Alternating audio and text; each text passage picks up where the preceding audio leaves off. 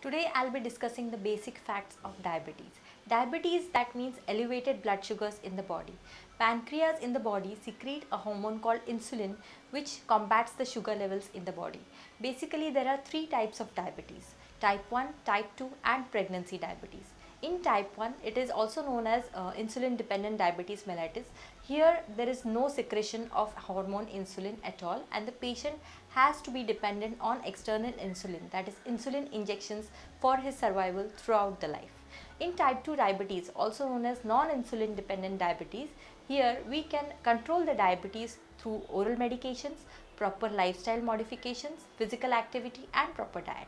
And in pregnancy diabetes, the diabetes occurs only during the pregnancy period which tapers off after the childbirth. The basic symptoms are increased thirst, increased frequent urination, non-healing of wounds, extreme fatigue and tremendous weight loss. So my dear friends and my dear colleagues, if any one of you or your family members or friends are experiencing these symptoms, please visit your nearest diabetologist.